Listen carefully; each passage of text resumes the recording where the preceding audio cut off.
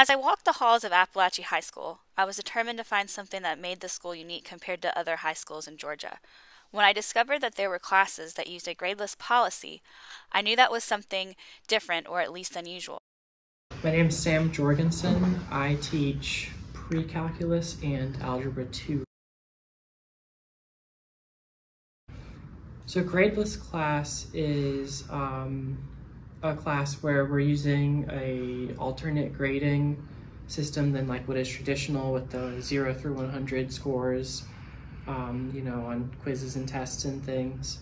Uh, the goal was um, kind of to challenge ourselves to not use grades as, as punishments um, and to reduce some of the stresses that comes with, um, you know, giving students grades. Like they really internalize those um, or you know when a grade gets too low and a student gets um,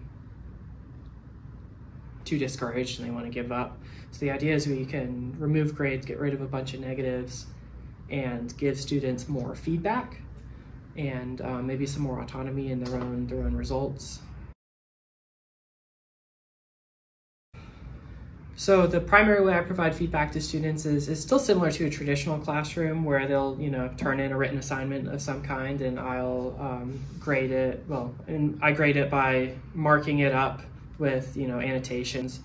You know, I'll circle, hey, you missed a negative right here, or this should have been a sine function and you did a cosine function.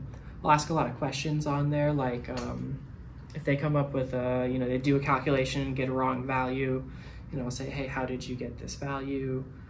Um, and so there's lots of lots of comments on there, um, along with one overall statement, um, kind of for each section of, of rating like their their mastery of a thing. So I'll say high mastery or average mastery or minimum mastery. Um, and but it's not just like a point here or a spot here. It's more of a like general take. It took them it took them a minute because obviously it's it hasn't happened to them before. Um, so it's a new thing. And, and at first they were like really confused. They're like wait am i passing? Am i failing? What's this mean? Um, but that's why we tried to still with stick with some kind of basic like high average um, minimum type idea because you tell a student like you did highly on this. You know they kind of know what that means or this was minimum. They kind of track oh that's that's close to a 70 that's just just barely passing.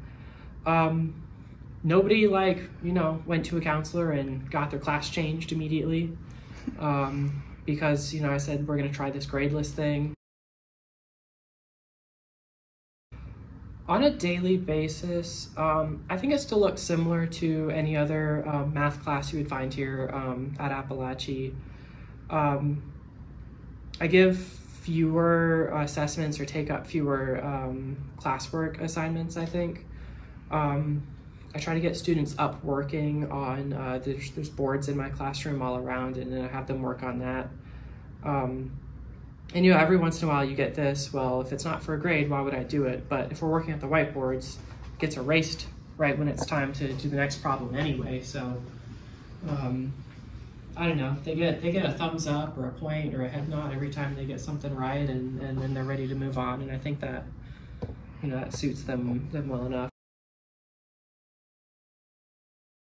So this is the first time I've tried the gradeless classes, and I might make a couple tweaks to it, but I still think there's a lot of merit there and a lot of value in, in changing up the grading system a little bit. Um, just because I feel like we haven't had any major negatives with it. Student motivation hasn't seemed to change at all. And we get that conversational feedback um, that I think is good for both building relationships and um, hopefully they'll listen more to that than just like, again, look at it, oh, I got a 98, move on. As I continued my search for more teachers who taught a gradeless class, I was wondering if their opinion about such classes would change, and that's when I came across Mr. Lenartz, who's a physics teacher. I really think I would like to have taught or tried to teach a gradeless class in something like environmental or zoology, but in physics it is so heavily math-based that I found myself as the class was progressing getting farther and farther behind in trying to give my students relevant and timely feedback.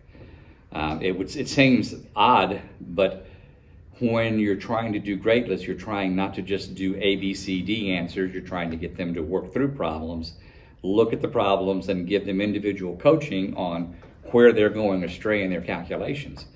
With a class of 30 students, you cannot do that in a timely manner. So uh, I got decided that for their good as much as for my own sanity, to drop it and go back to a graded system. Didn't do a very good job of providing feedback.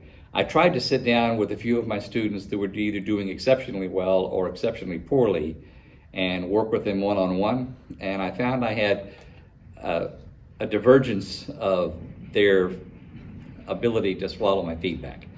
If they were A grade performers, they were upset and nervous about whether they were going to have an A for the course. And they were continually frightened about, I, I don't think I'm doing well enough. I, I don't see grades. I, I, I'm missing this touchstone, if you will. And the low performers were saying, no grade? cool. And they assumed no grade meant no work, and that's where they went.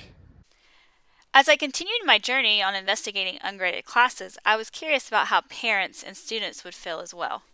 So as a parent of Pierce in Spanish, I, I'm okay with it. Uh, I know that he's he's a pretty motivated student, so he will see a grade of, of MM for minimal mastery and he'll treat that the same way he would see a grade of a, a 70 or whatever and know that that means that he needs to improve.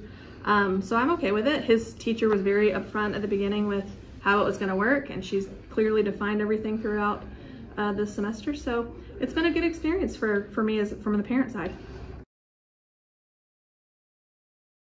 Okay, so if I'm as a parent, log in to look at my son's grades and I click on his, his Spanish class, which is a gradeless class, um, I can scroll and I can see his level of mastery on his assessments, and his teacher is kind enough to define them off to the side. So for example, I see on his Unit 5 assessment, his score is HM, which she has defined as high mastery. And then the second level 5, I see an MM, so that's a minimal mastery. So I know and he knows that that's something that he would need to work on uh, to reach the high level.